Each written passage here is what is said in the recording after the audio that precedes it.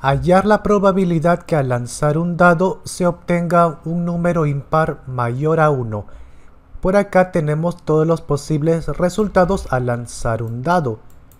Y para hallar la probabilidad, debajo acá en la fracción se coloca el número total de casos posibles que salga. Y como vemos son 6 posibilidades en total.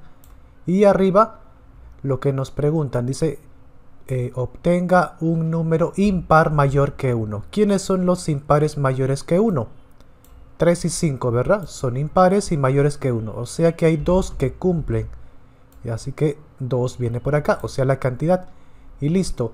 Ahora, esto se puede simplificar porque se pueden dividir entre un mismo número. O sea, tienen mitad.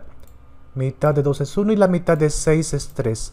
Y listo. Respuesta un tercio. Puede quedar así o también expresado en decimal que para eso divides 1 entre 3 y sale 0.3 y como este 3 acá se repite infinitamente va con su sombrerito de periódico.